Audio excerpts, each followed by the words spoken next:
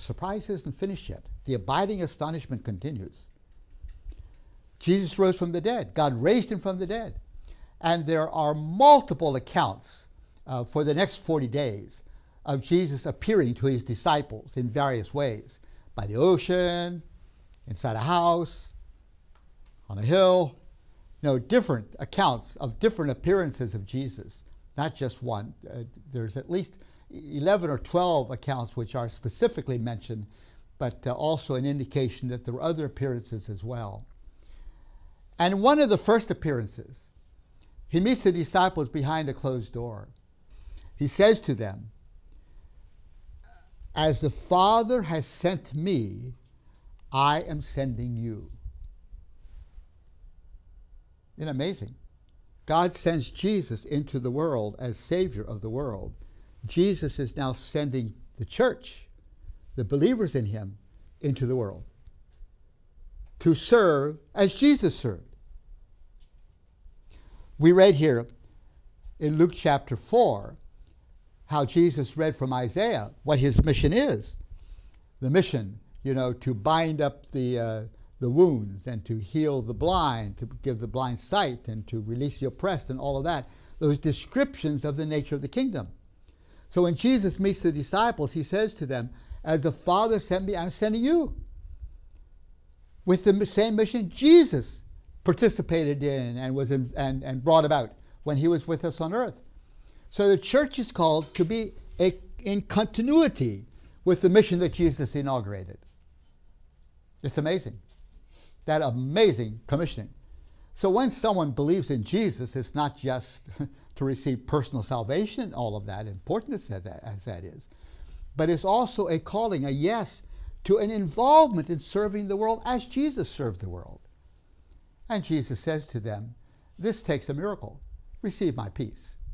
It's only as we receive the peace of Christ that we in any way can serve as he served. So he says, Receive my peace. Not the peace of the world. No, no, no, no. We've studied about the peace of, in this class, the peace of uh, Buddhism and, and um, Confucianism and so forth and so forth, uh, Hinduism, African quest for peace. All these religions in various ways are looking for peace. But Jesus says it's a different peace I'm offering you. Uh, not the world's peace, not the peace that you find here and there. It's my peace. It's my peace, purchased on the cross, through my love poured out on that cross, through my embrace. It's my peace I'm giving to you. So receive my peace. And then he says, in this mission to the whole world, why uh, you can't do it on your own. You need empowerment. And so he says to them, receive the Holy Spirit. Receive the Holy Spirit. Receive the Holy Spirit so that you, you will be empowered to serve as I'm calling you to serve. Totally astonishing.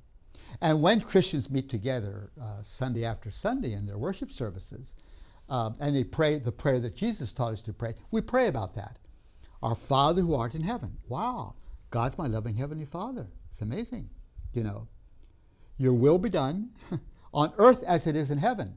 That's a prayer that we truly will be carriers of the kingdom that Jesus inaugurated that we will be his kingdom people, serving as he serves.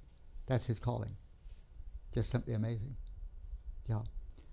And at the center of it all is this amazing gift of forgiveness of sins. Right there, at that very moment when he meets the disciples, he says to them, Go and declare the forgiveness of sins. I remember on one occasion I was in a mosque and uh, uh, with, uh, with dear Muslim friends, and uh, they were explaining um, Islam to us and so forth.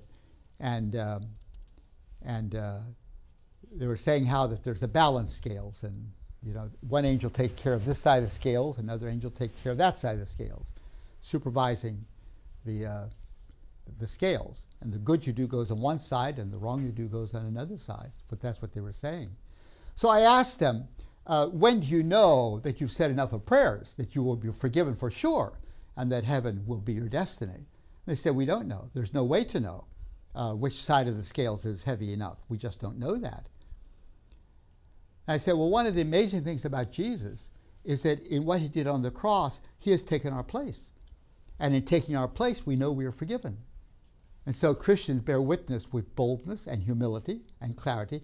We know we are a forgiven people. Oh, no, they said, that would be impossible. No one can take your place. If you go to a court of law, why, uh, and the judge passes judgment, you can't say, well, um, uh, you can't say that, that, that someone else can take your place. That's simply impossible. I said, You're right, but there's one exception. Suppose the judge himself, suppose the judge himself pronounces judgment, the judge of the whole courtroom, and then he comes and he sits down and he says, passes judgment, but then he says, But I have taken your place. Then you're truly free. And so we see that in Jesus, on the cross, God Himself has taken our place. God in Christ has taken our place. And that's why Christians bear witness that they know they are a forgiven people. We don't say it arrogantly, we don't say it proudly, but we say it with great appreciation and gratitude. We are forgiven. Jesus has taken our place. The judge has entered the courtroom and taken our place. My, the Muslims that night in that, in that mosque, they said, my, my, my, my, my. This is too deep, too deep, too deep, too deep too deep. I said, please, please, don't just dismiss it. It is such very, very good news. And so after Jesus rose from the dead, he meets the disciples in various settings, and he promises them now that the Holy Spirit, whom God has promised, is going to come upon them. And so, as we mentioned the other day, uh, after 40 days of appearing occasionally to the disciples, he is taken up to heaven in their presence. In their, they see him ascending. And as I said, all of him goes. He doesn't even leave a toenail behind. So within the Christian movement, there's no space uh, as, as, as Christians meet Jesus. There's no need for relics and all that kind of thing. Jesus has ascended. The Spirit is among us. He is between us uh, uh, and uh, in our midst. And so that is the presence of God that we need, not some sort of sacred relic. We don't need that because Jesus is there in our presence. So he ascends into heaven, all of, G, all, all of him, and he promises he will send the Spirit. And then one day, five days later, uh, uh, sorry, 10 days later, this amazing thing happens where the Holy Spirit is poured out upon the disciples. When, on Pentecost, this is, this is 50 days after Jesus' resurrection. Suddenly, a sound like blowing of a violent wind came from heaven and filled the whole house where they were sitting. They saw what seemed to be tongues of fire that separated and came to rest on each of them. All of them were filled with the Holy Spirit and began to speak in other tongues as the Spirit enabled them. Now they were staying in Jerusalem, God fearing Jews. Listen to this. Staying in Jerusalem, God fearing Jews from every nation under heaven. When they heard this sound, a crowd came together in bewilderment because each one heard their lang- in their own language being spoken, and utterly amazed, they said, What is all of this about? These people from, from, uh, from Parthia, the Medes, the Elamites, the Mesopotamians, the Judeans, the Cappadocians, people from Pontus and Asia, Phrygia, Pamphylia, Egypt, and the other parts of Libya, near Cyrene, visitors from Rome, both Jews and converts to Judaism, Cretans and Arabs, all hearing the name of, the, of Jesus proclaimed uh, as these disciples are preaching, anointed by the Holy Spirit who come upon him. And that's the birthday of the church. That's when the church was formed. Sometimes my Muslim friends ask me, why do Christians give such attention to translating the Bible into the languages of people all around the world, some 3,000 languages now? I say it goes right back to Pentecost. At Pentecost, people from every nation are hearing the gospel being preached, and uh, and they believe. And so God's that shows us it's a sign from God that God's intention is that all people around the world be able to worship Jesus, to honor God in their own mother tongue. They don't need to have um, uh, translators and so forth because of the miracle of what God was doing here. And that's why missionaries attempt to put the language um, into the language, try to put the gospel into the language of people wherever they go. The formation of the church at Pentecost. So we pray, Our Father who art in heaven, hallowed be thy name. Your kingdom come, your will be done on earth as it is in heaven. That prayer, that God's kingdom will be extended to the whole world, and that's the mission of the church wherever it goes.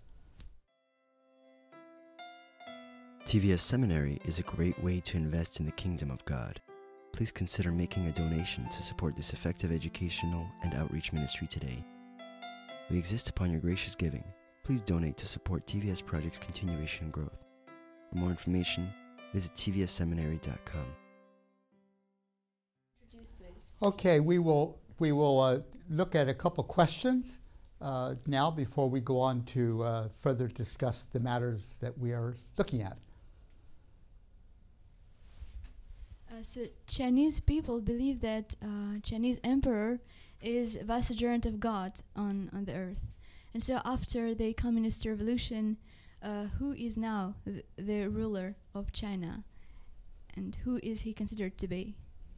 I'm very glad that I've given opportunity to raise questions because qu- questions like that show that uh, my lecture was not quite clear and it helps to clarify issues. So always be free to ask questions about anything I'm lecturing about because it helps to make things more clear. Um, first, to say that that um, heaven, as the Chinese refer to divinity or to the other, that heaven is analogous, is uh, like God in the Christian faith, is not quite accurate. Heaven within Chinese philosophy and theology is more like Plato's ideal good. The ideal good of Plato was a principle in the universe, but it was not personal God who meets you, meet and converses with you. Uh, the same way in China, that heaven is not the same as the biblical God who meets you. Heaven is more like a principle, like the Platonic principle. That's, that's what we're talking about. And so when they say heaven is the authority under which the emperor functions, it really means the emperor needs to function under that heavenly principle. It doesn't mean that he had a personal relationship with God. And I think, as I said earlier today, that is one of the reasons for the rapid spread of the church across China, because the Christian gospel, and Islam likewise, uh, introduces an understanding of God which is personal, uh, particularly within the Christian faith, uh, a personal God whom you can uh, converse with and so forth.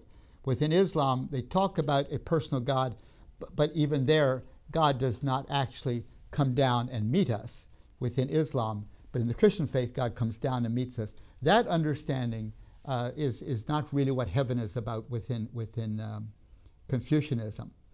But nevertheless, the emperor, they said, should function under the authority of heaven, which means the emperor should function in obedience, in submission to the principle, to the good principles of heaven. Now, in, in, in 1925, there was a revolution in, uh, in China, and the emperor was overthrown. And so from then until today, there is no emperor in China anymore at all. Uh, that, that, that era is finished. Uh, so who rules? Well, uh, for it's the Communist Party. Now, uh, there's been some revolutions going this way and the other way, but uh, you know, ever since Mao Zedong stood at Tiananmen Square and declared that the Communist Revolution is now the wave of the future, why the Communist Party uh, holds authority in, in China. And they are not beholden to, um, they, they, they feel no need to submit to God. um, the, to the principles of the Communist Party. You could say the principles of the Communist Party have replaced the notion of heaven in communist thinking within, within China. Yeah. Very good questions, very important questions. Any other questions?